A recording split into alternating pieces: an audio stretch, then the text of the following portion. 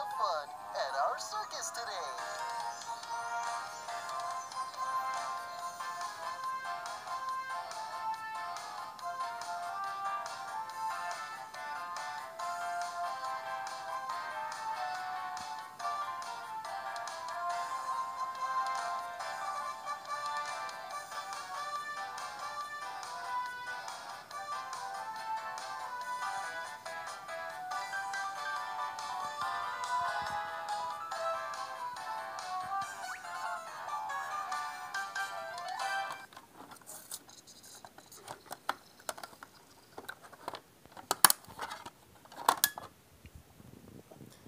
The one second?